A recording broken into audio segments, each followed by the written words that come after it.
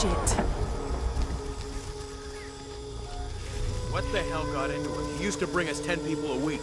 You ask me, it's that brother brotherhood. Always unionization this and justice that. Wow, wow, wow. Fucking snowflake.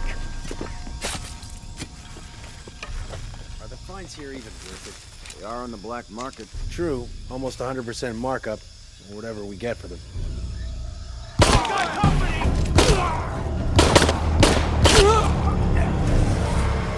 The generator's broke.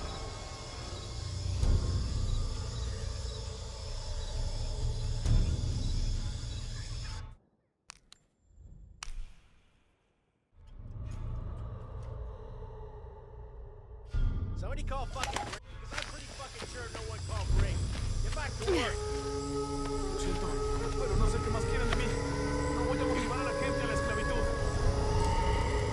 Oh, I think there's a way Shit.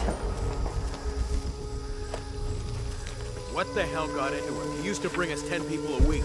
You ask me, it's that brotherhood. Always unionization this and justice that. Wow, wow, wow.